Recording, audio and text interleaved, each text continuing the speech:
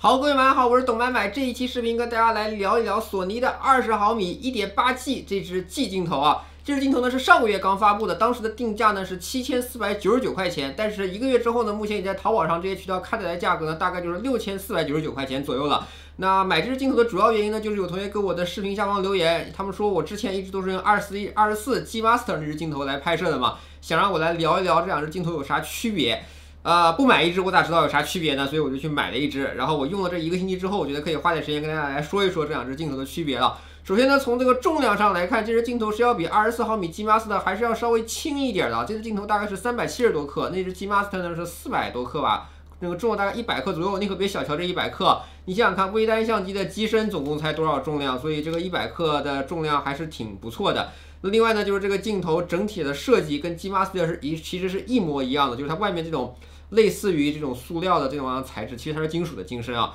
就是特别好。这个镜头呢，我不知道你们之前有没有用过，像五十五毫米一点八呀、二十四杠七十 f 四那些镜头，那些镜头全部都是铝制的金身，外面有一种磨砂的漆，然后随着这个时间的流逝啊，那个变焦环以及以及那个。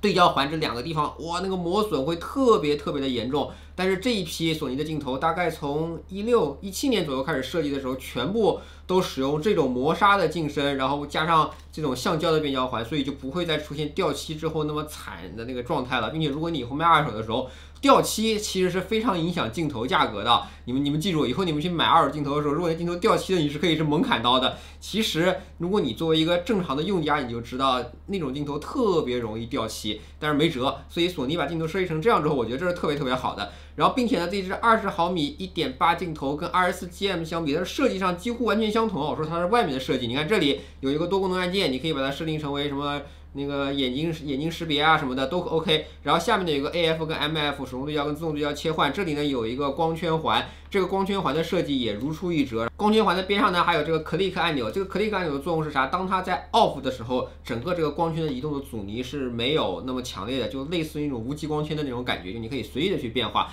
当你在 On 这个阶段的时候，你每一级光圈都能明显感到阻尼感。然后同时呢，一般咱们都是把它放到这个 A 这个档位，自动这个档位上嘛，并且从 A 到这个 F 二十二，你要稍微注意一下，A 到 F 二十二虽然是有一些不一样的阻尼的，但是有的时候容易被误拨。像我之前就遇到过，拍拍着拍着好好的，突然画面暗下来了，后来我意识到是这个镜头的光圈环从 A 变成到二十二了。就是 直接变成最小光圈了，对吧？所以这一块你稍微注意一下，但正常用的时候没啥问题。那再有呢，你看我现在最近一直不都是用使用 BMPCC 在拍视频吗？我在抓起这个相机的时候，哇，简直就是身轻如燕啊，对吧？那关于这个相机的拍摄。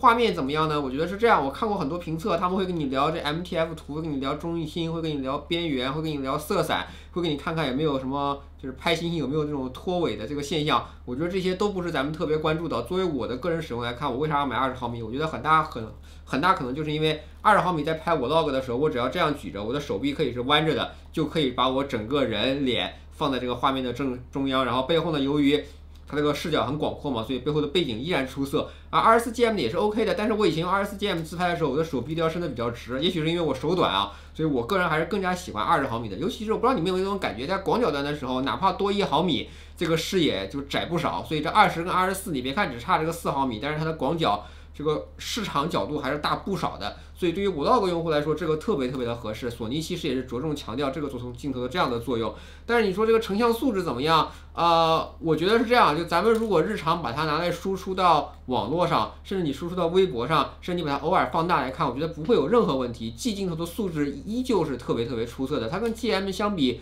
我觉得唯一的问题可能也就是在六千四百万像素的，比如 A7R4 这样的机身上才会存在能不能未满的这样的问题吧。然后 A7R4 呢，我是并没有的，但是我看了一些评测，我看起来结果其实也还挺不错的。所以也就是说，便宜了三千块钱，你有一个非常接近的画质，并且有更广阔的视角。我个人是觉得，有了这支二十毫米镜头之后。二十四一点四那支 GM 镜头，我应该是会把它卖掉了，因为对我来讲用处就不是那么大了。呃，我个人是强烈推荐那个，不管是基于这个便宜三千块钱这件事儿，还是说你在二十跟二十四毫米之间做抉择，如果你没有那种大画幅、大尺寸、数毛那样特别多的爱好，甚至说你就拿六千四百万像素去拍，然后中间去裁剪一小块，有这样特殊的需求，我觉得二十毫米对于大部分人来说，至少对于我来说。都是一个更好的选择。然后这个镜头我也测试了一下，比如说，哎，对索尼来说这都不算啥测试了，比如什么人眼对焦啊、眼控对焦这些啥，特别特别准确，没有任何问题。然后呢，你用手动去切换一些对焦点，它的切换速度也足够快。你拿手呢在前面去遮挡一下，再把手挪开，那个镜头快速找你的能力也 OK。这都是索尼的常规操作的，并且我用的是 A7M3 机身，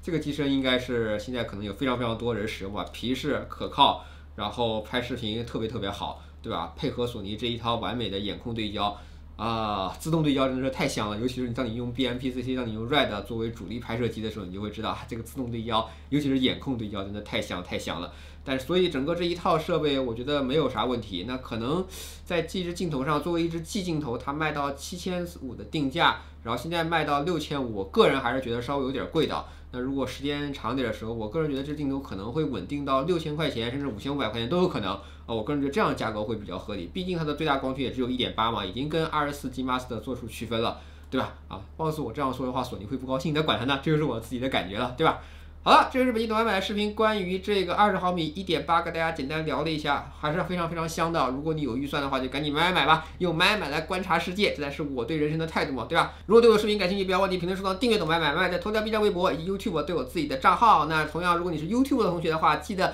关注我之外，还得点一下叮，点一下那个小铃铛，这样我的视频在更新的时候，你就能第一时间收到通知了。好了，我们下期再见，拜拜。